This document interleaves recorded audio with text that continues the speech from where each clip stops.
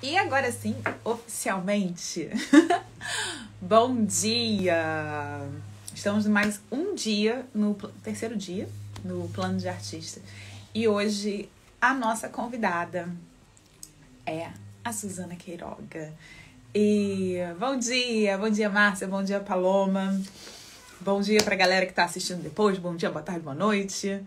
É, a gente vai esperar a Suzana entrar e eu já tenho aqui. Deixa eu chamar a Suzana já. Vamos ver se a gente consegue. Eu já tenho aqui. Se alguém precisa, é, quiser fazer alguma pergunta, as do chat correm muito rápido. Então, se quiser fazer uma pergunta, bota aqui na caixinha de pergunta que a gente abre a caixinha. E aí, bom dia, Suzana. Tudo Oi, bom? bom dia. Tudo bom? Conseguimos. Você me ouve Conseguimos. bem? Conseguimos. Sim, e você me ouve bem? Sim. Ótimo. Eu vou confessar uma coisa, que na hora, a gente até tinha algumas perguntas, mas na hora que eu anunciei que a convidada era a Sana Queiroga, choveu de caixinha de perguntas. Então a gente já tem umas 10 perguntas aqui para responder. Ai, que legal. Ótimo. Mas a gente vai conseguir. Então, eu queria muito agradecer você por é, ter topado fazer essa entrevista. Assim, a sua trajetória ela é muito rica em vários aspectos, então é muito legal estar tá você falando um pouco sobre a sua trajetória, como você lidou com, com várias é, questões na sua carreira, né? Desde a academia, o mercado, as residências, os prêmios. E, enfim, é um prazer te ter aqui. Eu queria começar com você se apresentando. Né? Olha, Adriana, finalmente conseguimos, né? Você já havia me convidado numa ocasião, eu não, não podia naquele momento. Então, estou muito feliz de, de estar aqui com você. É, a autoapresentação é sempre um pouco difícil, não é? Porque como a gente pode se apresentar? Eu sou artista desde que me conheço por gente. É, a minha relação com, com o desenho a pintura começou que eu me lembro, aos cinco anos de idade. E aos nove anos de idade eu tinha certeza que eu queria ser pintora. Então, assim, o ingresso nessa vida, na verdade, foi uma continuidade desse interesse que já foi despertado na infância. E foi muito natural entrar na Belas Artes e seguir o caminho, né? É, era o meu maior desejo desde sempre. E aquilo que mais do que um desejo porque como criança não tinha nem consciência do que era é, ser artista ou não mas era uma, uma, uma, uma, um hábito diário uma necessidade né? É, eu fui uma criança muito introspectiva muito recolhida muito observadora e meu contato com a pintura começou é, a observar uma tela do meu pai, pequenininha, que ficava no meu quarto. Eu já estou falando, posso continuar? Ah, falando. tá bom. É, eu não sei se, se você sabe, mas é, eu nasci órfã de pai. Minha mãe estava grávida de mim quando meu pai morreu num acidente aéreo. E ele tinha 26 anos e minha mãe 22. Era a primeira filha, recém-casados. E, e, essa tela do, do meu pai, essa pintura, essa paisagem, era uma das poucas coisas que eu tinha do meu pai, né? E isso ficava no meu quarto, eu sempre via. Era uma tela de uma paisagem muito bucólica, pequenininha assim, na verdade, uma pintura a óleo sobre, sobre madeira. E ali tinha um caminho, numa floresta, um caminho de, de terra batida e muitas árvores, uma pintura muito bonita. Ele chegou a fazer umas 15 pinturas em vida. Morreu, bom, como eu disse, 26 anos, não teve tempo de fazer muita coisa. Mas essa pintura era o que eu olhava e ali eu via o meu pai, eu via alguma coisa do meu pai e sentia a presença dele naquela, nas pinceladas, nas cores, eu sentia o ar fresco daquela paisagem e eu é, via aquele caminho como se fosse o meu caminho que tivesse sido desenhado, pintado por ele. Eu, eu me identificava com o caminho. E, e por isso eu criei uma conexão com a pintura e com o desenho muito grande.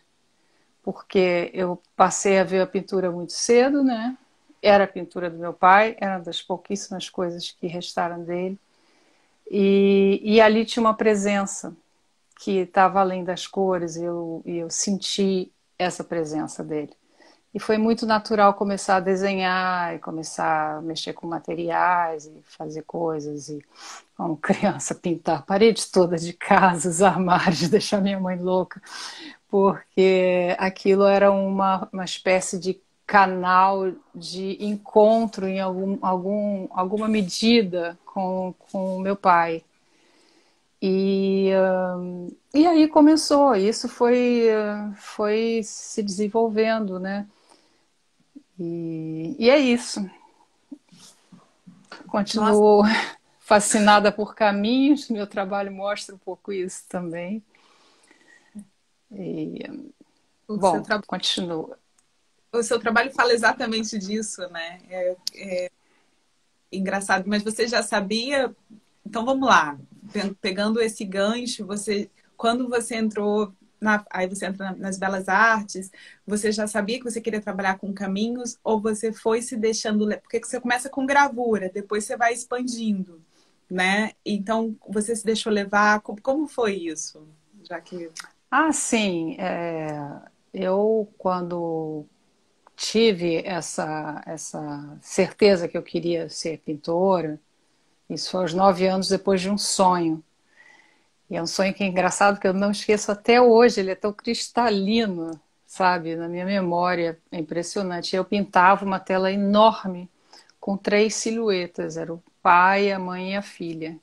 E aí eu acordei e pensei, eu vou ser pintora, falei isso para minha mãe e continuei desenhando, mas fazia qualquer coisa. Eu nem era muito talentosa, não era uma pessoa que, uma criança que as pessoas olhassem, uau, leva jeito, não. Era desenho de criança e, e, e, só fluía. Era o meu, é o meu encontro comigo, era um momento silencioso e reservado. Quando eu fui para Belas Artes, eu ingressei com 17 anos, eu comecei a ver um mundo que eu nem sabia que existia, não é? Aí você tem toda uma formação acadêmica, na ocasião, a, a Belas Artes era muito conservadora e ainda tinha um treinamento assim muito baseado numa escola neoclássica, então a gente tinha é, um peso muito grande de uma tradição e uma formação que mal chegava à arte contemporânea. Não, não chegava, mal chegava ao modernismo, tá? Era assim. E eu fui para a gravura porque a, na gravura havia um professor, o Adir Botelho, que é um gravador, está é, tá vivo, é um cara atuante, foi, era um gravador muito modernista. E era a pessoa mais aberta, assim, que o, o, o clima do, do, da, da gravura era mais assim antenado com o mundo. Então eu, eu, comecei ali e fui fazendo várias coisas e tal, ainda super na formação, não considero nem trabalhos prontos, é trabalhos de estudante mesmo, né? E quando eu me formei, é, eu fui trabalhar no MAN. O MAN tinha um bloco escola, né? E quando eu me formei, é, a minha mãe falou assim: tem que arrumar um emprego. O que, que você vai fazer? Aí é, eu não me lembro mais se alguém comentou que no MAN estava precisando de assistente, meio secretária para o setor de cursos. Eu fui lá, aí fui contratada. Então, eu, como eu trabalhava na recepção dos alunos é, que iam se inscrever, passava as informações e tal, eu trabalhava direto com a coordenadora de ensino, com as duas, né? Que era a Suzane Vorkman e a Irma Aretzabal. É, eu comecei a conviver com os artistas e principalmente a ver as exposições do MAN. Como eu trabalhava no setor de cursos, eu tinha bolsa de estudos. Então eu poderia, podia assistir as aulas que eu quisesse. Aí então eu fiz a, a oficina de gravura do Rossini Pérez, que era fantástico professor. Mas eu também fiz outros cursos e eu podia entrar, porque eu ia levar a chamada, sabe? Era aquela monitora, era, era isso. Então eu fiquei, sabe, transitando nas aulas assim, e principalmente fui ver as exposições que aconteciam. E aí foi o, gran, foi o grande momento assim de, de mudança na minha cabeça, porque eu vinha de uma formação bastante tradicional de belas artes, em que você, na época, hoje é, é, o panorama é um pouco diferente, já, tem, já foi muito renovado o grupo de professores e a, cabeça é outra, claro, mas naquele momento era bastante careta, né? E você aprendia um bocado de técnicas e não sabia o que fazer porque não sabia pensar sobre arte, não entendia exatamente o que é o trabalho de arte, né? Todas as questões que estão envolvidas. E então eu fui ter contato, por exemplo, tive uma, um contato com uma exposição em 83 do Eduardo Suede, uma, uma individual lá, até a curadoria do Paulo Sérgio Duarte, e, e foi foi um momento assim muito importante porque eu ficava andando para lá e para cá na exposição, era uma exposição grande. E eu não entendi absolutamente nada daquela linguagem, né? Ele fazia um trabalho muito geométrico na época, muito limpo, quase minimalista, mas tinha muita cor. E eu não entendi o que estava sendo dito ali, o que, que aquela pintura era, mas eu não conseguia sair da sala de exposição. Eu tinha um estranhamento imenso e um encantamento imenso ao mesmo tempo. Então eu fiquei para lá e para cá naquela, naquela exposição e pensei, caramba, aqui tem uma coisa, só que eu não estou entendendo o que é. E nisso eu fui ter contato com todas, né, o acervo do museu, é, as obras do Elliot Sica, Lígia Clark, a Luiz Carvão, que era professor de lá também, ter contato com ele, né, é, enfim, abriu-se todo um leque aí ligado ao, ao neoconcretismo, né, as lígias, e, e foi um nascimento e uma formação em segundo, em sequência, né? Eu tive uma formação, um tipo de formação, depois eu tive um outro, uma outra formação que me atualizou diante de um cenário de arte brasileira, pelo menos com muita, é, muita intensidade. É? O, essa, você trabalhar com cursos teve alguma influência em você depois ser professora? Com certeza. Adriana, a minha vida é uma rotina insuportável. Eu desenhava desde cinco anos e dava aula para os meus ursos, meus bonecos. Desde então, era a única coisa que eu fazia. Eu era essa criança meio maluca. Eu ficava botando os bichinhos sentados dava aulas, não me lembro de quê, e depois desenhava, desenhava. Eu só apenas continuei a fazer isso. Entende? Eu fui para o setor de curso e fiquei encantada, porque eu tive uma, uma visão panorâmica do, da estrutura, como trabalhava ali, entrava e saía, conversava com os professores, via as dinâmicas e tal. E, e eu, em 85, comecei, com 24 anos, comecei a dar aulas de litografia no Parque Lage. Tive assim uma, uma sorte muito grande, tenho muita gratidão por ela, Solange Oliveira e o Marcos Lontra, que era o diretor na época. Como eu já participava do Salão Carioca, com gravuras, havia ganho prêmios e tal, a Solange conhecia o meu trabalho, sabia que eu tinha bastante noção de, de litografia, né? E quando um professor de lá, o Antônio Grosso, foi se aposentar, o professor de litografia do, da Escola de Artes Visuais, ela me chamou para conversar e eu uh, comecei substituindo. Era uma garota super tímida, morria de medo dos alunos, os alunos achavam que eu era uma aluna, todo mundo ficava esperando a professora entrar, aí depois eu falava, olha, eu sou a professora tomava um susto. E aí foi, comecei a dar aulas e, e foi muito importante para mim o, o, processo de, de dar aulas durante esses anos no Parque Laje. Foi muito legal. É porque a gente vai aprendendo também, os alunos eles trazem muitas outras, outras visões da, daquilo que a gente que, que você está ensinando, né? Então é muito interessante, até num lugar de, de diálogo, e quando a gente tá, começa a falar, né? É quase freudiano isso, mas quando a gente começa a falar, ecoa, né? E a gente entende de uma outra forma. Mas é, tem, ó, todo mundo pedindo para você voltar da aula, Suzana. Suzana tem Portugal. Quer dizer, agora Agora estou no Rio. Estou no Rio, é. Mas eu dei aula muito tempo, direto, né? E é exatamente isso que você falou. A aula, ela é um, é um exercício de, é um aprendizado muito maior para quem ensina do que para quem é aluno. Isso eu não tenho a menor dúvida, porque os alunos têm sempre uma, uma uma, uma visão unitária, quer dizer, eles estão vendo o mundo deles e o que está ao lado, mas nós circulamos e vemos todas aquelas cabeças pensando, todas as dificuldades. É, e o grande desafio para mim sempre foi como colaborar para que esses processos criativos, para que esses processos evoluam da melhor maneira para aquela pessoa. Então, eu nunca é, acreditei em fórmulas didáticas ou modelos didáticos fixos, né?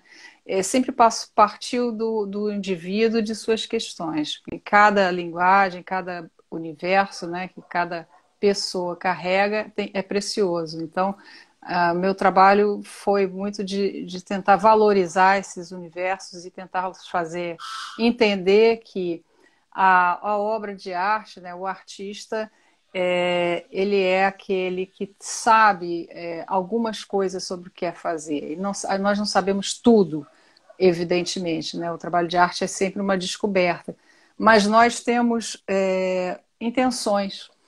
Então, saber o que se quer, ou pelo menos tentar saber o que se quer, é, por quê, quais as relações, quais as referências, né?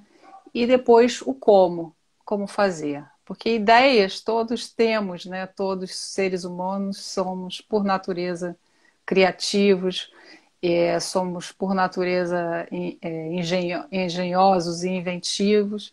E agora, como estruturar isso dentro de um pensamento artístico, como levar à, à, tona um projeto, né? criar uma ideia e uma consistência, sobretudo. Então, assim, nessa orientação, eu tive um aprendizado inestimável, assim, é, eu guardo com muito carinho todos esses anos que eu dei aula.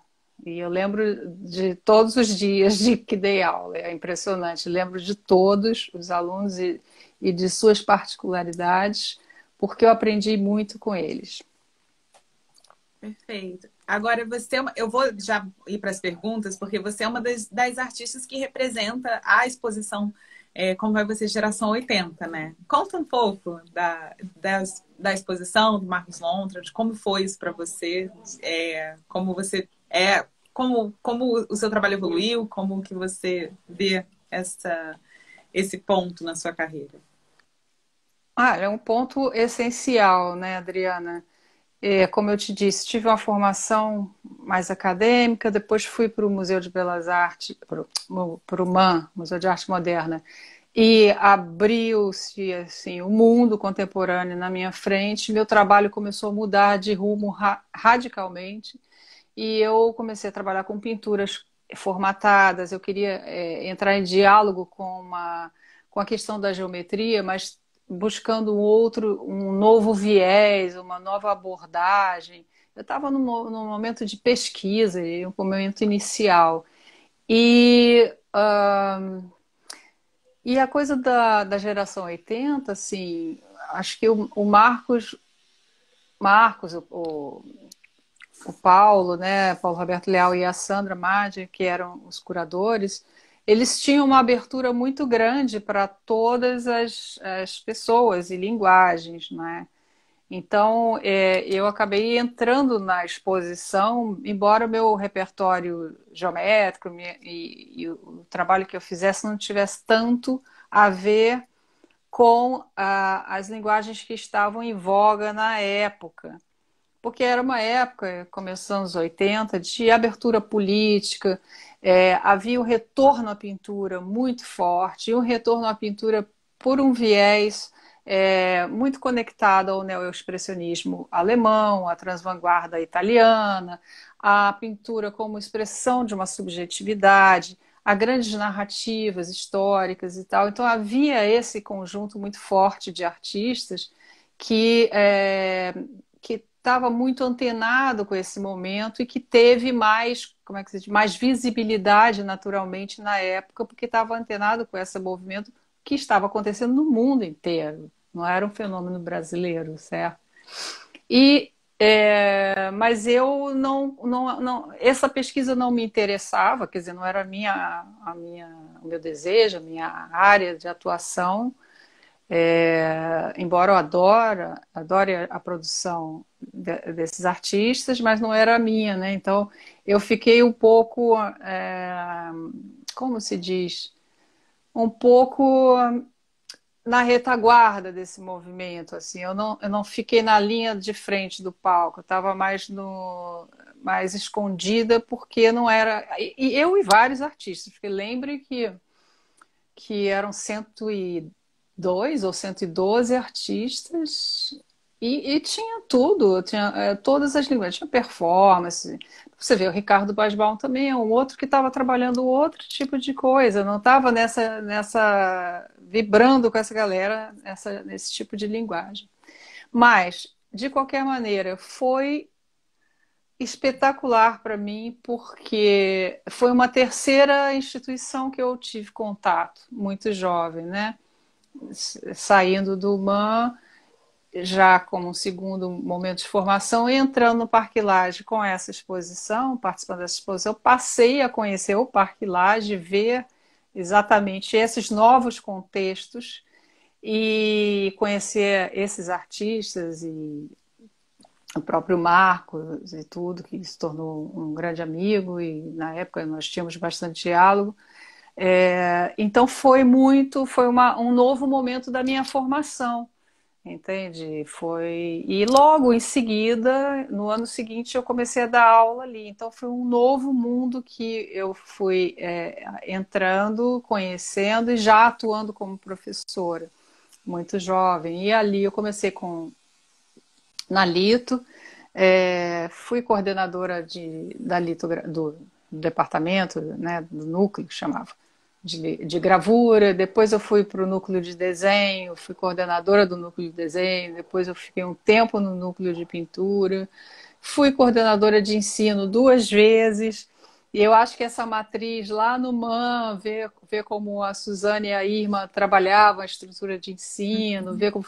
Isso tudo me ajudou, e eu, e eu já tinha isso, entende? Então, trabalhei nessa área também de como pensar a estrutura de uma escola, como fazer aquela coisa toda funcionar, são tantas engrenagens que estão por trás e os alunos não têm ideia de quantas decisões, quantas dificuldades, né? Sobretudo instituições aqui no Brasil, como que a gente sabe, Parque Lage sempre com dificuldades financeiras, é um prédio magnífico, mas nunca se tem dinheiro para fazer as reformas necessárias, nunca se consegue os patrocínios todos, é assim, é sempre com muita luta, né? Qualquer gestão é, passa por isso, né? Inclusive eu falava nas reuniões assim que eu achava que todos os professores do Parque Lage deviam ter seis meses de trabalho dentro da estrutura para entender o é. que é, né?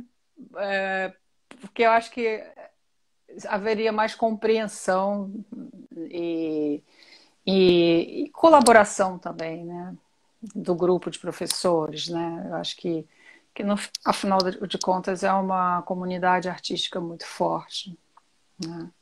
Foram, eu acabei de ver, foram 123 é, artistas. Nossa, 123, muita gente. É muita gente. eu vou para as perguntas agora. Eu queria só que você falasse um pouquinho.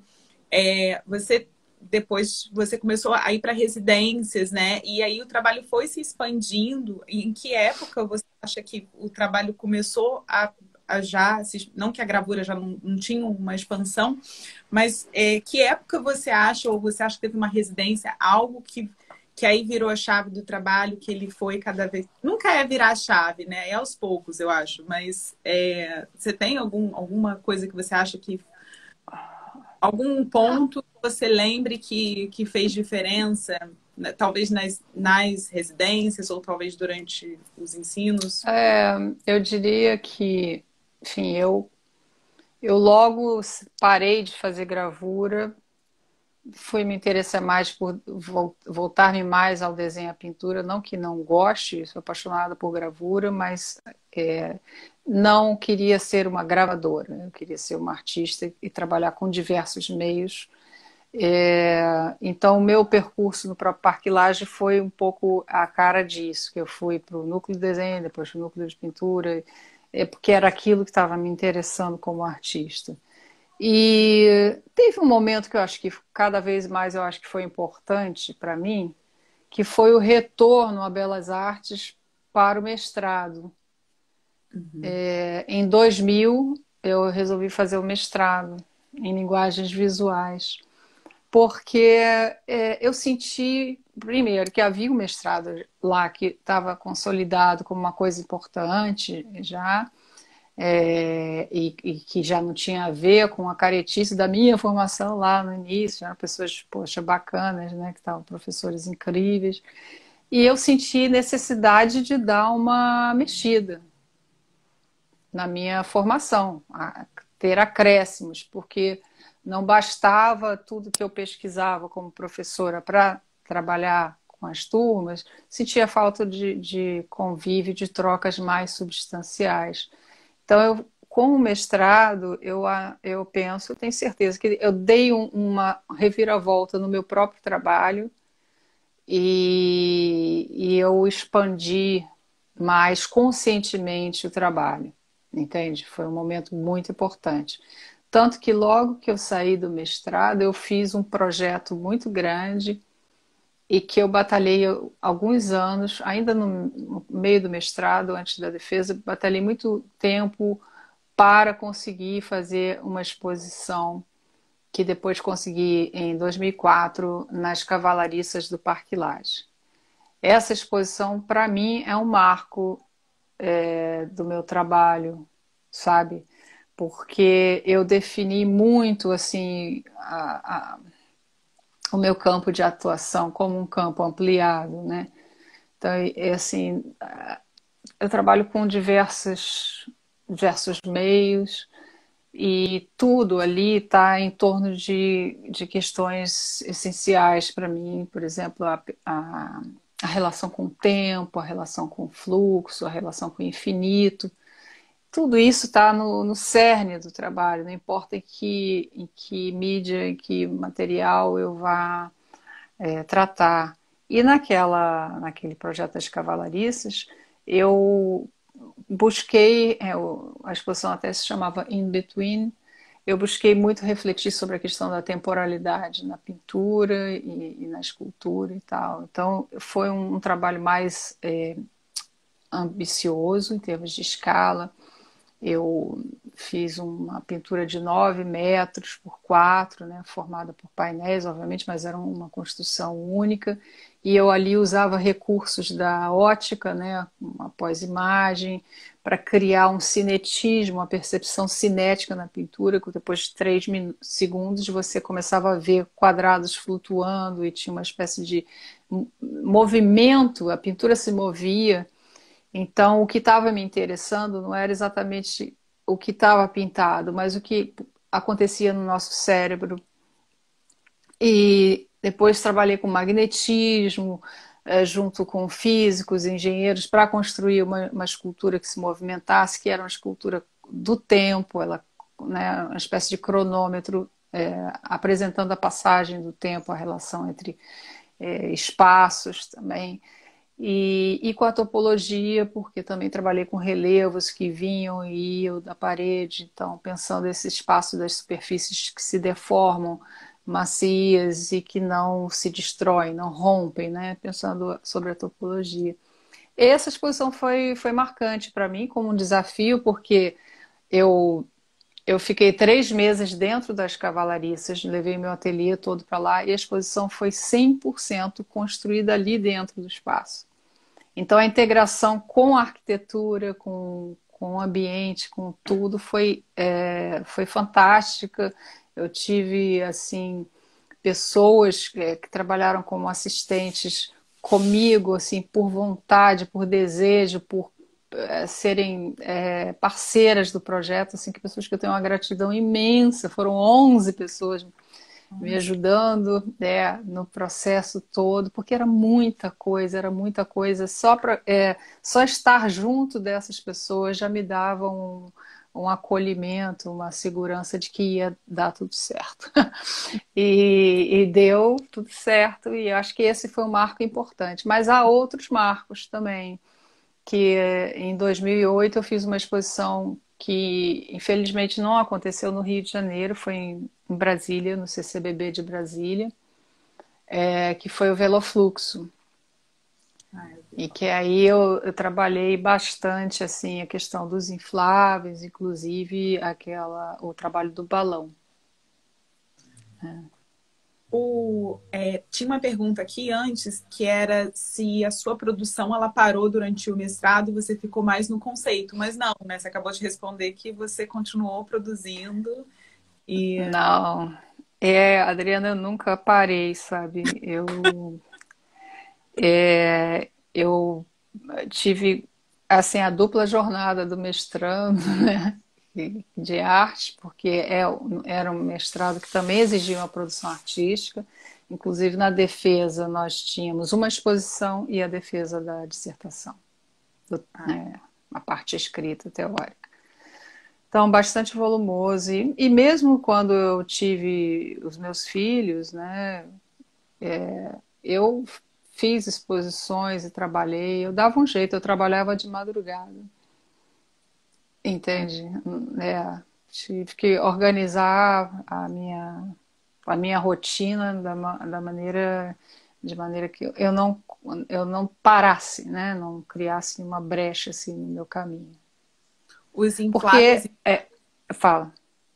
Não, os infláveis então começam em 2007, 2008? Ou é a primeira vez que não, fez? Não, não, não, não, não. Os infláveis começam em 2002. Foi logo no segmento ah. do, do mestrado, em, em, que eu trabalhei muito a ideia de expansão da pintura para o espaço. Né? Então, os, o, os primeiros infláveis foram justamente feitos em 2002, quando é, e tem relação com o trabalho da minha defesa, né, que se chamava Tropeços em Paradoxos. Eu vejo os infláveis como uma pintura, é, mais do que como escultura, é uma pintura no espaço. A minha ideia, quando construí esses infláveis, era criar um ambiente líquido, como se nós mergulhássemos na, na tinta líquida, transparente, e nós pudéssemos ficar imersos naquele líquido, né? essa era a grande fantasia, grande desejo. Então, essas grandes construções infláveis são exatamente tentar chegar nisso, porque o inflável que é? Eu construo apenas a película dele, ele é um objeto sem massa, ele só tem uma película, ele não, ele não tem. O material dele é o ar, o mesmo ar que está dentro é o ar que está fora. Esse ar está em constante troca, né? Ele está sempre alimentado por um motor. É, e o inflável, é, ele não esconde o espaço, ele não oculta o espaço. Nós vemos através das duas paredes. Se eu estou na frente de um inflável, eu vejo a paisagem atrás, pintada pela cor do inflável. Quando eu estou dentro do inflável, eu vejo a paisagem de fora toda pintada com esse filtro colorido, transparente. Quando eu vejo alguém dentro do inflável e eu vejo de fora, essa pessoa imediatamente passa a fazer parte, é um personagem, é um, um acontecimento numa pintura.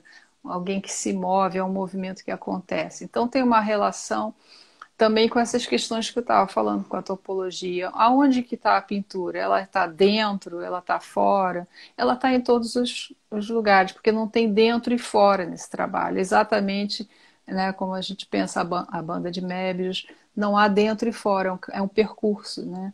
E essa película do Inflável é isso. E foi em 2002 que eu fiz o primeiro, é, para uma exposição curada pelo parte é, brasileira cura, com curadoria do João Grijó, que era um mestre em Flávio, e ele me convidou, assim como a outros artistas, e eu fiz um primeiro conjunto, né, que foi no Sesc de São Paulo, o Sesc Belenzinho. A exposição chamava Ares e Pensares, muito bonita. Tinha uma parte internacional fortíssima também. E essa parte nacional, o, o Grijó fez a curadoria. E, e a partir daí eu me apaixonei por esse meio, né? E eu tenho vários projetos de infláveis, alguns executados e vários não executados, porque é um processo muito industrial que eu uso, são, são estruturas de grande porte, então tem que ser feito com maquinários e tal. E, e assim, é, eu tenho vários projetos que eu não consegui executar, eu tenho loucura para executá-los ainda. Espero que um dia, aos poucos, vá conseguindo. Vai conseguir. Vamos lá. Suzana, seu trabalho é bastante baseado em, em pesquisa. Como você vê a relação entre a sua produção institucional com a comercial? Ah, olha, é, isso é uma, é uma pergunta interessante porque, é, como eu te disse, nos anos 80, o meu trabalho não estava na mesma sintonia que os, é, os artistas que tiveram grande destaque na geração 80. E assim, eu não tive uma entrada no mercado de arte. Eu tive assim umas coisas esporádicas, aquilo não foi adiante. E, e o meu trabalho é, foi muito apresentado em instituições. E eu achava legal esse caminho, é, e era um caminho que surgiu na. Né, eu mandava para edital, é, ou fazia projetos, enviava, era aceito ou não, é, participava de salões de arte e tal. E, e com o mercado de arte propriamente dito, a relação foi mais recente, quer dizer, os vínculos mais eh, com, a, com galeria, sei lá quanto tempo tem, mas não é tanto tão antigo como os outros colegas meus, né? Então, assim, eu acho que a instituição, o trabalho institucional, para mim foi muito importante. Porque, e é importante, acho, para todo artista tentar, né, embora seja, a gente receba muito mais nãos do que sim, é, só que as pessoas só veem os sims, né? E não veem os nãos. Uma vez até em aula eu estava falando isso com os alunos que estavam meio revoltados porque não tinha entrado não sei o que e tal. Sabe? Eu vou desistir de tudo. Eu falava, eu gente, se eu tivesse feito uma lista dos nãos que eu recebi desde os anos 80, dava para fazer uma exposição só com, com as cartas de, de projeto recusado. Ah, muito obrigado pelo vídeo do seu projeto, apreciamos muito, mas infelizmente não pôde entrar na nossa programação. Isso é rotina, gente. Não é fácil, entende? Só que as pessoas só guardam um sim, né? Então, é, e, é, e é isso, né? Acaba se criando uma, uma imagem de, de que é tudo fácil, mas não é. E, hum, mas por que, que eu estou falando isso? Ah, instituição. Eu acho que a instituição, ela, ela dá margem a trabalhos mais ousados, né?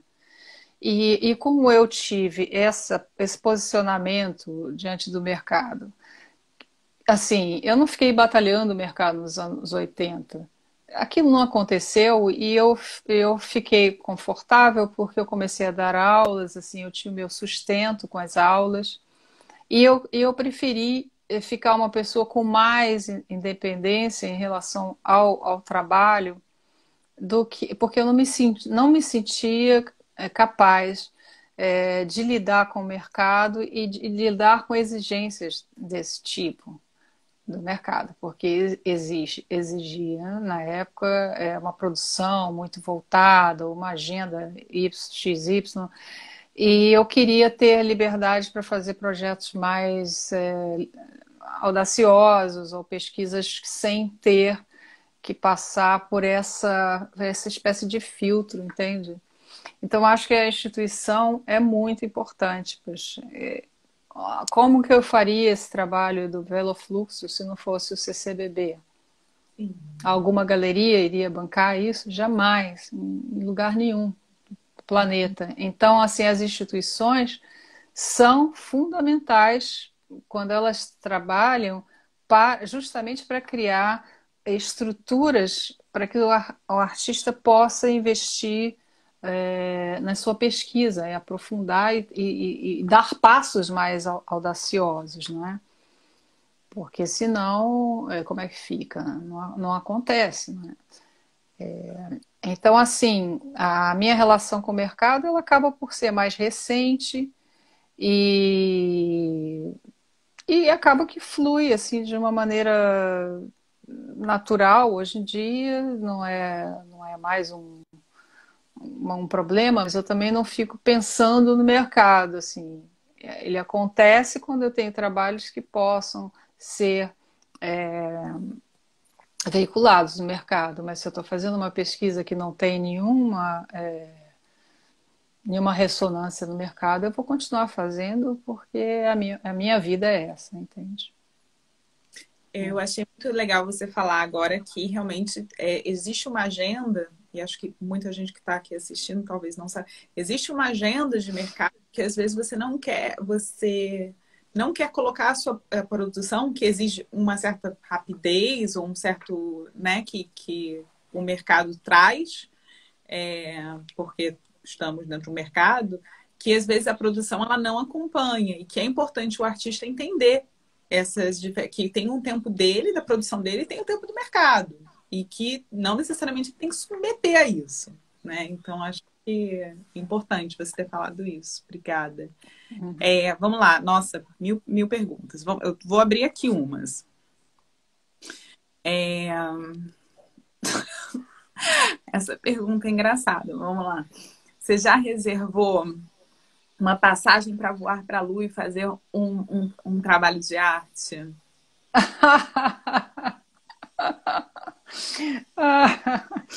Nos sonhos, não é? Nos sonhos é. vamos a todos os lugares.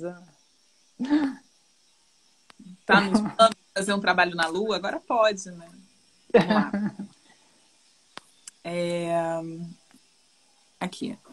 Já, é, já aconteceu de você fazer uma residência artística e não vir inspiração para produzir sua obra? Não, não mesmo. A, a, você havia perguntado sobre a residência anteriormente, eu acabei não chegando ali. Vamos aproveitar essa pergunta para falar um pouquinho. Eu fiz a minha primeira residência é, em 2012.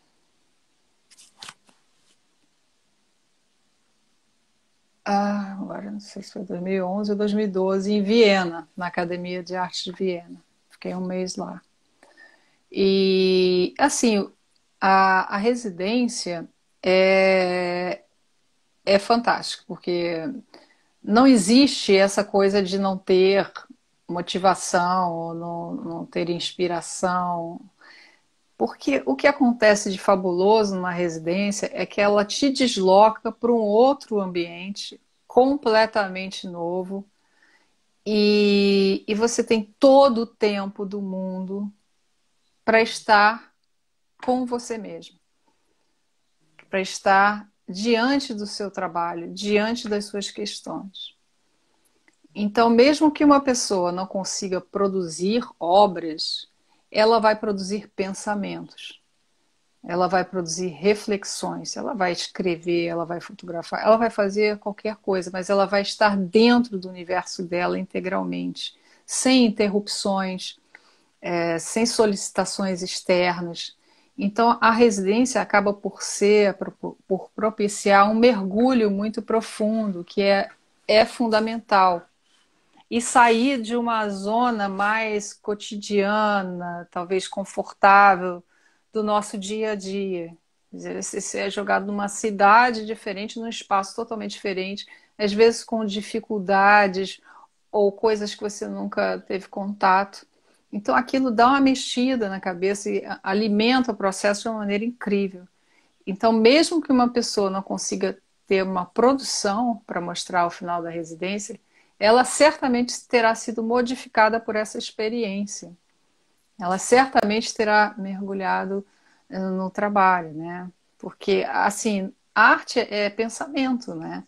É, é, é, é, é materializar ideias, é, enfim, que estão no mundo da mente, no mundo sem matérias. É tornar alguma coisa que, né, que passa na cabeça da gente em, em algo, né? seja uma poesia, seja uma pintura, seja um filme, seja enfim, aquilo antes passou pela mente. Né? A arte é coisa mental, como dizia Leonardo da Vinci. Então, uma, uma experiência de residência, ela sempre vai te jogar nesse lugar, né? de, de, do pensamento. E daí vem coisas. E eu acho que a maioria dos artistas com que eu convivi nas residências, é, eu vi pessoas que trabalharam enlouquecidamente, outras médias, outras que ficaram escrevendo, lendo, catando coisas, pensando coisas que, é, que iam depois até da saída de lá é, se transformar em algo, sabe? Então acho que a residência é muito legal. Para mim foi foi fundamental. Eu gosto muito de fazer residências. Tive agora de novo em residência no Porto, quando eu fui construir a, a instalação, ela foi toda feita, né? E foi uma, uma imersão também, assim, um trabalho braçal imenso, mas foi, como sempre, uma coisa fascinante, né? Você olhar o calendário e falar assim, não vai dar tempo. Acho que não vai dar tempo. Os dias vão passando, vai dar tempo, talvez dê tempo. Então, você vai passando por vários estágios de enlouquecimento, mergulho, loucura, até que chega no dia que tem que ficar pronto, a coisa fica pronta. E você consegue montar aquilo que parecia que nunca ia conseguir montar e dá tudo certo, né?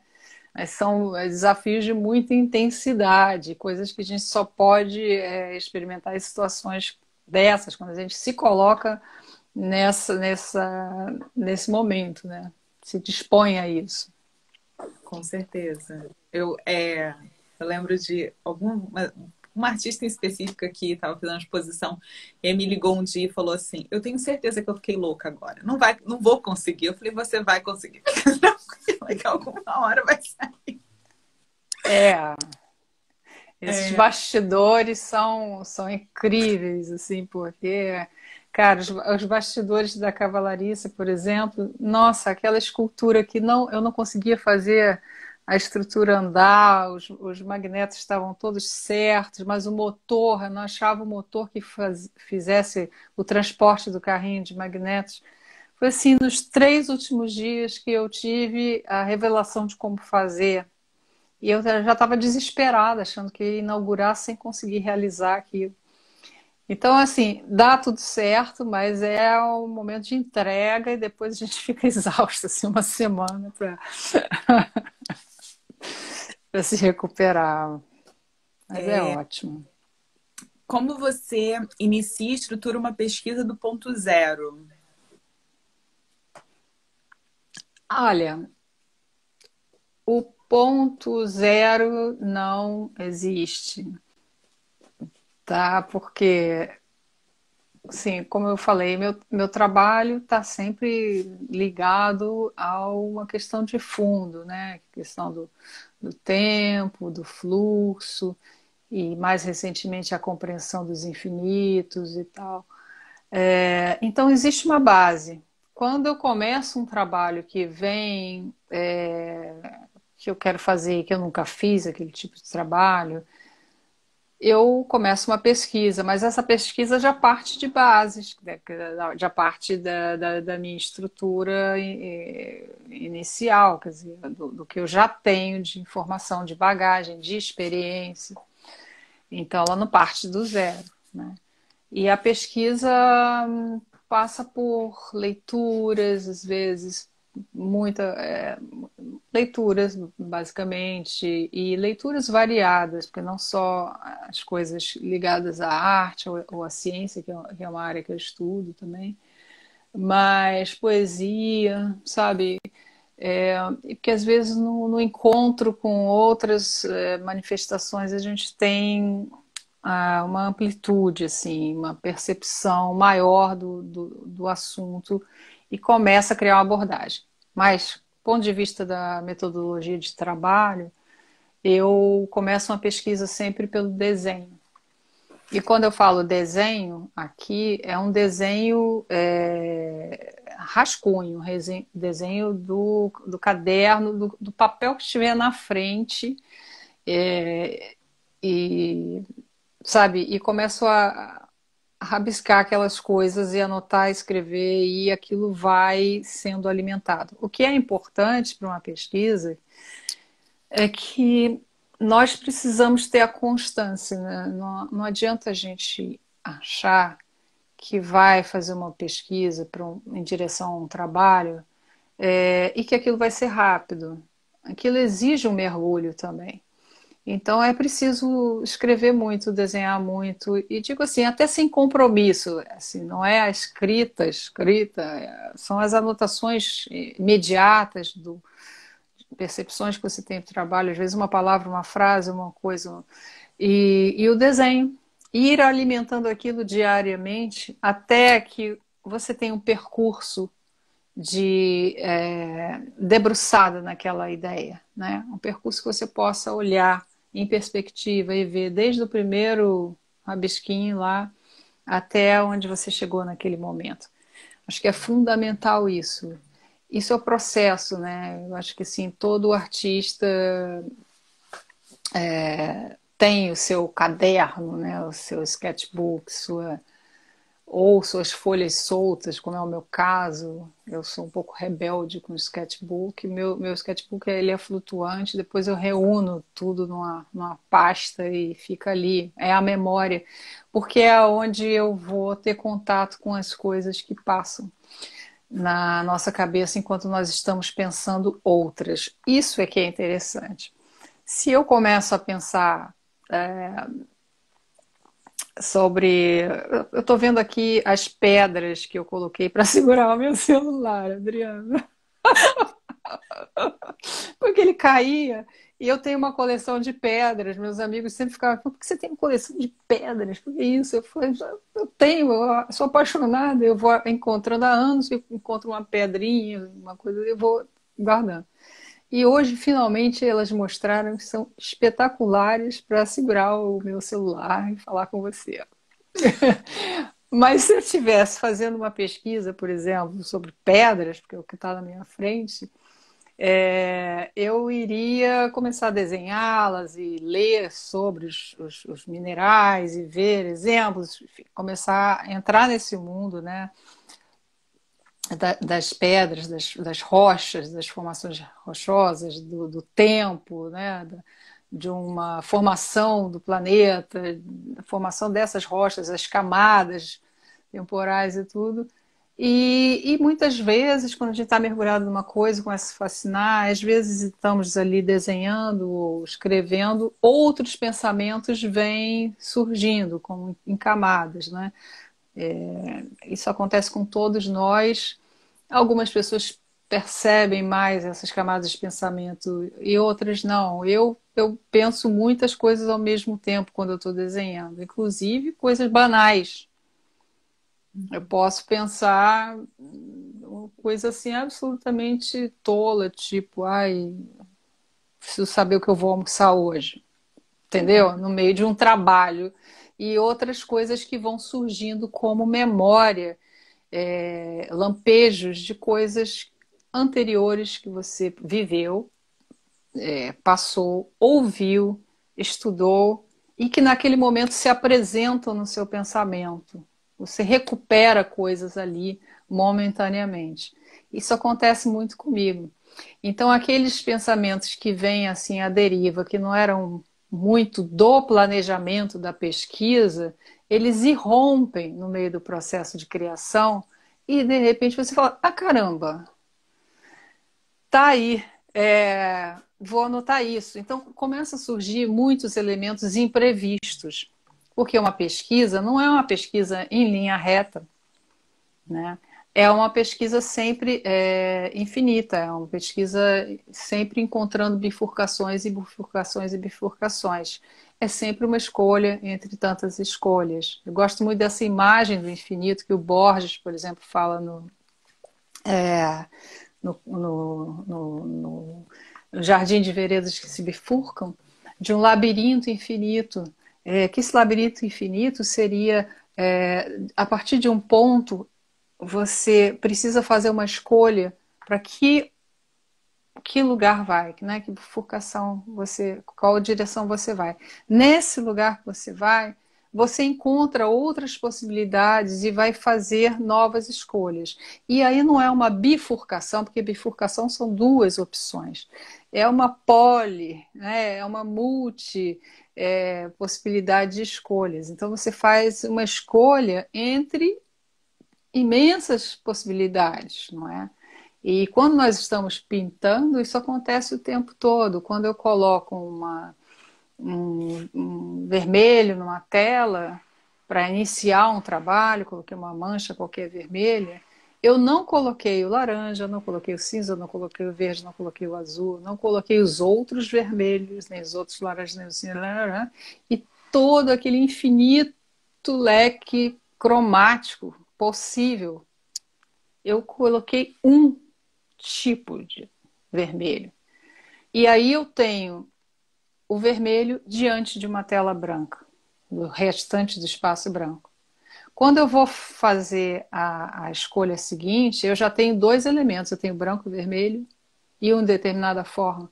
E aí eu penso sobre o que eu vou fazer em seguida, eu já dou um passo nesse labirinto. E quando eu escolho uma coisa, eu ao mesmo tempo estou negando infinitas outras. Então, a cada momento do processo de trabalho, em pintura ou em desenho, que seja, é, ele, ele, é, ele tem atrás um percurso de infinitos, de infinitas possibilidades. O que são as séries de trabalhos de um artista? Eu, eu penso que uma série de um trabalho é quando a gente vai avançando e a gente sabe perfeitamente que é, por exemplo, se eu, se eu, já dei vários passos nesse caminho de uma tela, é, se eu pudesse colocar aquele, aquele estágio da tela numa máquina mágica que transformasse em 10, clonasse em 10 telas iguais, eu sei perfeitamente que ali eu poderia experimentar 10 novos caminhos. E seriam 10 novos caminhos que apresentariam 10 outros novos, e aí vai. Então, assim, um, um trabalho encerra infinitas possibilidades. As ideias são infinitas. Finitas são as, as nossas capacidades de executar. Nós somos finitos e nós não conseguimos dar conta. Então, quando um artista fica numa série, é, ele não está se repetindo. Ele, é como se ele estivesse tentando voltar àqueles estágios iniciais e pegar uma outra possibilidade, um outro conjunto de bifurcações em relação àquela ideia. Né? Perfeito. É. Ó, alguém falou que as, as, os, o seu trabalho também tem as formas da, das pedras. Você já pensou nisso? Ah, sim. Eu, eu observo muito as formas. Não é à toa que eu guardo as pedras. É, eu observo muito as formas rochosas, as formas naturais, né? todo o conjunto de, de padrões que existe na natureza, aqueles que são visíveis aos nossos olhos humanos e os que são invisíveis, aqueles que só, só vemos através de instrumentos. E o curioso é que essas formações todas são muito semelhantes. Né? É, existe uma estrutura é, de germinação, uma estrutura de fractal, de né, de desenvolvimento das formas naturais, que é guarda muitas semelhanças, né? Então, por exemplo, o trabalho que eu faço com as cartografias, ele guarda semelhanças também com o sistema venoso, com os sistemas fluviais, com vários outros sistemas, com os, é, os mapas neuroniais, com, com o, né, uma estrutura cósmica ou uma estrutura microscópica. A gente está trabalhando sempre assim, é, dentro de uma estrutura visível que o nosso olho consegue capturar e decodificar e trazer, né, como nós entendemos isso. Mas existem outras realidades que nós não, não, não é, observamos, não podemos observar, mas nós podemos chegar a elas através dos instrumentos e dos recursos tecnológicos. Então, sim. Estão é, perguntando se por acaso você já publicou algum livro. Já. Eu já publiquei um, um livro, e foi em 2008. Fiz um livro, consegui fazer um livro é, sobre que era um panorama do meu trabalho desde os anos 80. Eu senti necessidade de ter é, de ter uma publicação. Então tem um texto muito legal do Paulo Sérgio Duarte e tem duas entrevistas de depoimento com a Glória Ferreira que são ótimas. E, e inclusive esse livro está disponível no meu Isso, Lá você pode entrar no meu canal Isso e, e ter todos os catálogos e livros estão lá, o PDF é possível acessar, fazer download e ler. É. Organização muito. Ó, deixa eu pegar aqui, a gente já está acabando, mas eu vou pegar algumas. Tem algumas perguntas aqui. Vou tentar. Vou tentar resumir, tipo, trazer duas para uma pergunta. É, tá. Como, ó, quais as é, dificuldades e alegrias de fazer uma residência? É, pediram para você falar um pouco sobre o trabalho com o infinito e se você é como é produzir os trabalhos gigantescos. Você aluga uma fábrica, equipe enorme para produzir essas peças, como é? É, nossa, quantas perguntas. A primeira mesmo? Ah, dificuldade de coisas boas da residência. Residências, sim. Eu não, olha, as, as residências são experiências para mim de imersão em outro tempo e espaço e onde eu, eu me vejo é, diante de um novo contexto, vendo a mim mesma. É um autocontato o tempo todo e sempre com a vontade de mergulhar no trabalho, nas reflexões, mais intensa possível.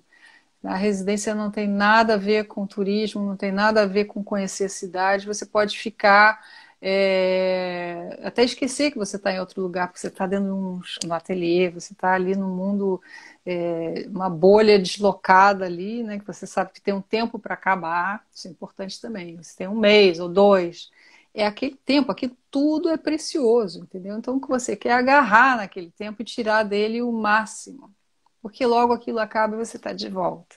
Então, não, não tive nunca nenhuma dificuldade, assim, as perrengues, qualquer, sempre foram bem-vindos, acho que os desafios, as coisas eh, são para nos ensinar, né? Nunca, nunca foi nada melhor do que bom, sabe? É, é, a outra pergunta era sobre os infinitos. Ah, os infinitos, sim.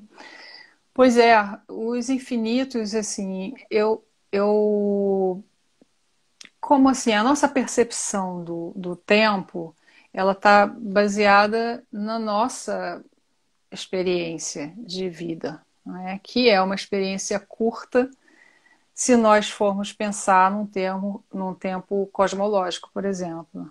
Nós estamos, na verdade, Adriana, nós somos infinitamente mortos.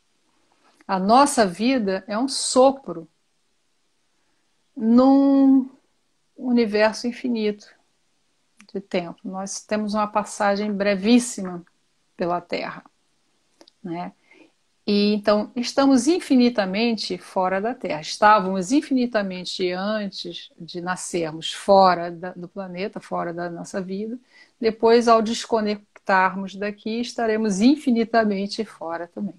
Então, assim, é, pensar sobre o infinito é pensar também um pouco essa angústia da própria finitude, porque nós podemos relacioná-lo com esse tempo cosmológico e pensar, caramba, nós somos uma fração microscópica de nada no meio de um, de um tempo infinito, talvez.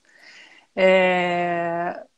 E nós podemos também considerar que a nossa vida, desde o início até o final, ela é também uma bolha dentro desse infinito. Né? Então, existem, assim, é, vários infinitos, se você for pensar matematicamente, por exemplo, o infinito ao qual nós estamos mais acostumados a pensar é aquele o infinito potencial, né? o n mais 1. Se eu coloco um número 1 a, a, depois de cada número, aumento, né? eu terei do número 1 até infinito. Né? Vai, vai fazendo uma, uma sequência. Mas também nós temos outros infinitos aí. Nós temos o infinito, por exemplo, dos, dos, dos, números irracionais, nós temos o infinito que existe entre o zero e o um, né? Então, é, são vários infinitos. É, a, a minha exposição lá no Porto fala muito sobre isso, porque é, eu faço uma, obviamente, eu faço uma conexão disso de uma maneira muito é, curiosa, porque eu penso o infinito com o tempo junto, sabe? É, o tempo é infinito. O, o, infinito, como conceito matemático e tal, ele também é, se conecta para mim a essa ideia. E a nós somos a exceção, né? Quer dizer, nós somos uma bolha que vem e sai. É, então eu pensei muito nessa exposição sobre a questão justamente dessas mortes é, que todo dia, já desde o início da pandemia, nós estamos vivendo, contando. Nós começamos um movimento, um movimento de contagem de mortos, é uma coisa que nós estamos é, fazendo todos os dias, é muito cruel, desde a primeira morte da Covid. Essa contagem, essa contagem, é mais um, é mais um, é mais, mais 500, mais 500, agora 500 tantos milhões. E eu perdi o meu padrasto de Covid, né? Pois é. Quer dizer, eu nasci, nasci órfã de pai, e depois de uma certa idade minha mãe casou de novo com ele, e o Gil foi o meu pai em vida, sabe? E era um grande amigo, uma pessoa maravilhosa. Poxa, meu pai. Né? Eu até falava, eu tenho um pai no céu, outro na terra. E caramba, ele morreu de Covid. E eu estava em Portugal quando ele faleceu eu não pude, sabe, é, é uma doença assim horrorosa, quem passou por isso, quem viu alguém passar por isso, sabe do que eu estou falando. E o que é assustador essa questão da contagem, essa contagem que parece infinita, não acaba, não acaba, não acaba, não acaba. E eu fiz esse trabalho um pouco pensando nisso, na ideia de contagem. Quantas contagens infinitas nós temos e quantos desafios nós temos, né? É, o tempo todo. E esse trabalho, então, tem um pouco essa relação com esse conjunto de, de perdas, é um conjunto parece infinito, né? E também a própria ideia do caminho que se transforma em escada, que, que, que cria uma, uma espécie de ideia de acese, de transporte para um outro lugar, é um pouco que a fantasia humana, desde primórdios, é, criou né, para lidar com essa interrupção da vida, com essa descontinuidade abrupta que a morte apresenta. Afinal, tem algum outro lado? Então, todos os mitos religiosos, todas as, ah, né, as religiões, desde primórdios, todos os, os rituais, foram para criar uma conexão com esse lugar. E a escada, a verticalidade representa muito isso, a passagem de um plano terreno para o plano espiritual que é, que a gente pode imaginar que exista, ou pelo menos imaginar como consolo, né? É, saiu dessa para uma melhora, que a gente fala, né? Assim, é sempre uma espécie de autoconsolo que a humanidade tenta se agarrar nessas ideias. Então, é, lido muito com essas questões, assim, como a, a, a, pesquisa sobre os infinitos, né? É, ela tem a ver com, com isso, né, que eu faço um, uma relação entre a contagem, entre a matemática, os infinitos e também com a, com a finitude humana. Com... E o azul, eu vi até que alguém escreveu azul aqui, de relance. O azul, para mim, tem sido muito constante por esse motivo, porque é, voltando lá atrás à infância, o primeiro livro de arte que eu ganhei foi aos 11 anos de idade, foi um primo que me deu. E, e era um, é um livro sobre o Fra Angelico. E, e uh, eu fiquei absolutamente fascinada com as cores, né, os azuis dos céus, depois Giotto, é, Piero della Francesca. Então, assim, a minha, meu conhecimento de cor veio por essa matriz, né? E, uh, e os azuis, para mim, eles têm muito a ver com a, com a esfera desse espaço que é infinito, com que é infinitamente grande para nós, né? Nós temos, quando olhamos o céu, que tem esse azul por conta da atmosfera, da radiação solar, do, dos gases que estão aí, nós percebemos esse grande azul. É, é o imenso para nós, é o que há de mais gigantesco. E também o mar, né? Os mares e todos os seus tons de azuis, verdes, violetas e cinzas, que também são o grande espaço, né? Então, trabalho muito com essas cores hoje, já há algum tempo, porque elas me transportam. Basicamente isso, elas me transportam para essa, essa emoção que eu tive ao ver pela primeira vez essas pinturas do Frangélico, alguns azuis, e depois quando eu fui em Pádua ver a, a capela do Giotto, né? aquele, aquela imensidão de azuis, aquilo me transporta para um outro lugar, a minha mente flutua, então são cores que me motivam emocionalmente, é, com, é sublime, entende? É, é, é, por aí. Olha, estamos. Eu vou fazer a última pergunta, porque essa pessoa já fez três vezes essa pergunta e eu não consegui fazer. Claro. Está querendo fazer uma residência em pintura mas nunca soube onde fazer. Se você indica alguma residência para essa pessoa. Eu não vi seu nome. Ah. As residências, é, elas, elas abrigam artistas de diversas linguagens, né? Assim, eu acho que não existe uma residência em pintura ou em escultura, são abertas a diversas experimentações. E hum, olha, eu me dediquei bastante à pintura, por exemplo, numa residência que eu fiz lá em Portugal, em Cascais, que é a Air 351, que é um espaço bem legal, com ateliês bem luminosos, muito bons. E eles têm uma é, Air, né? 351. Eles têm um site e, e eles abrem candidaturas. A pessoa precisa ter um portfólio, precisa ter um projeto de trabalho, é, boas fotos, tudo organizado, um, um, um statement, né, uma, uma, narrativa sobre o seu projeto e encaminhar. Agora, é, e aí isso é analisado por um grupo da, da é, da curatorial, né? É ER 351, que é 351 é o código telefônico de Portugal, tá?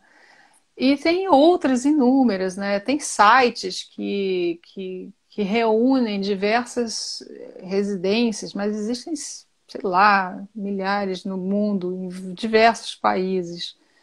Então, no momento que a pessoa preparar o seu dossiê, o seu portfólio e tal, ela pode entrar nesses, nesses sites, é fácil achar, você coloca resistência artísticas, tem um que é, acho que é Res Arts, é R-E-S-A-R-T-S.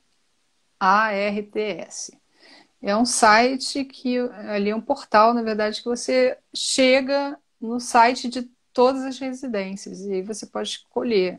É, e começar a fazer o filtro, né? Porque tem, tem de tudo, né? Tem lugares legais, tem lugares que são. É, são todos assim, sei lá, tem que pesquisar o que, você quer e colocar metas. Eu acho que principalmente colocar metas Entende? Para mim é, foi muito importante fazer isso, tem sido muito importante. Agora eu vou fazer uma residência na Bélgica em setembro e em Bruxelas. E eu pretendo continuar fazendo, porque como eu te disse, é, eu comecei a fazer as residências em 2012 e elas são muito importantes porque elas me dão esse mergulho, é uma coisa que eu preciso. Eu preciso desse mergulho. É, enquanto eu tiver aí saúde e resistência, vamos enfrentar. Susana, a gente não falou das bienais, a gente não falou desse deslocamento para Portugal, nada disso, mas então a gente vai ter que combinar outra live, né? Quando você puder, que eu sei que é, você. Exatamente. É. Sim, sim. Eu estou morando em Portugal e, e, e, aqui também, né? Eu tenho a minha base no Rio, estou no Rio agora, mas já estou voltando para lá, então venho para cá e trabalho, tenho ateliê, produzo. E minha mãe é brasileira, né? Minha mãe está aqui. Meu pai era português. Ah. É, meu pai. Né? Então eu tenho esse resgate com a família paterna lá, e tá todo mundo lá, e por isso eu desenvolvi assim grandes laços afetivos com Portugal desde a infância. Então a minha mudança para lá foi uma coisa, um movimento natural, foi acontecendo, né? Aos poucos, assim, sempre esse desejo de ir de, de ter essa experiência fora. E aqui nos comentários tem muita gente que foi, foi seus alunos, pessoas que falaram que a, o seu trabalho você mudou completamente como uma pessoa via arte, que eu achei bem bonito, e que você é uma filósofa, precisa escrever um livro sobre só sobre o processo. E eu queria só a última pergunta, só para a gente terminar. O que, que você indicaria para um artista que está começando agora? Olha, eu indicaria é, persistência, né? acreditar sempre no, no seu processo, acreditar naquilo que faz sentido para você. Porque é, arte não tem a ver com ter talento ou grandes capacidades específicas. A arte tem a ver com conquista, com conquista diária é a pesquisa diária, é o mergulho diário que você faça dentro das condições que você tenha, mesmo que não tenha todo o tempo do mundo para isso, mas manter, porque isso ao longo do tempo ganha consistência, né? E também está sempre preparado para os reveses, para, para os nãos, né? Como eu falei, eu recebi muitos e muitos não. Você podia fazer uma exposição só com as cartinhas. é, porque a gente é, recebe mais nãos do que sim, mas a gente não deve olhar para os nãos, a gente só deve olhar para o futuro e para os nossos desejos e os sims que nós queremos ter no futuro e trabalhar esse tempo que ainda não existe. Não é? Eu costumo dizer que eu estou trabalhando sempre anos na frente para mim, quer dizer, nas minhas metas, o que eu quero daqui a alguns anos é, é lá que eu estou trabalhando na minha cabeça, né? Porque se eu ficar olhando a realidade, é, a, a, realidade é muito dura, né? O trabalho do artista, além de ser muito solitário, é preciso ter, ter, ter, compreender isso, né? Nós só não somos solitários na época da formação, depois é, a gente tem que ser solitário porque o trabalho de artes visuais exige solidão. A solidão, ela é bem-vinda, ela é ferramenta. E então, esse trabalho é, precisa ser o tempo todo alimentado. Assim, acho que é bola para frente, assim, persistência e processo. Processo. O processo de, de trabalho, o processo de pesquisa, ele é, às vezes, mais interessante do que o resultado. Porque quando nós terminamos o trabalho, aquilo acabou para sempre. Não, né? Aquilo acabou eu não, não me relaciono, paro de me relacionar com aquela pintura quando, eu, quando ela fica pronta. Eu já estou em outra coisa, fazendo uma outra pesquisa. Então, o momento de, das dúvidas, o momento da construção, onde nossa cabeça é povoada por pensamento, onde nós temos contato com tantas ideias e tantas reflexões, esse é precioso, esse aqui é a grande vida do artista. E esses momentos são da solidão mesmo, do mergulho no ateliê. E quanto mais, eu acredito, Adriana, que quanto mais um artista se, se entrega a isso, é, mais resultados ele vai ter. Sabe-se lá quando? Se é hoje, amanhã, daqui a seis meses ou dez anos, não importa.